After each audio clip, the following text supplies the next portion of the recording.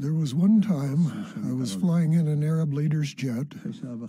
After an hour and a half, I had to say, uh, He who created prayer, He who created man with many openings, that is, a very wise uh, Jewish blessing you recite after you've answered a call of nature. So I asked where the bathroom was. They said, here, there's a door in the wall. So I look at the wall, and everything's encrusted with gold. The toilet, the mirror, the, the sink, everything. And I'm looking at myself thinking, I, Reuven Merhav, the son of Dr. Walter Markowitz from Haifa, I'm really going to sit down on this thing? And when I got up, I saw that nothing had changed. Everything was the same. That made me see things clearly in life.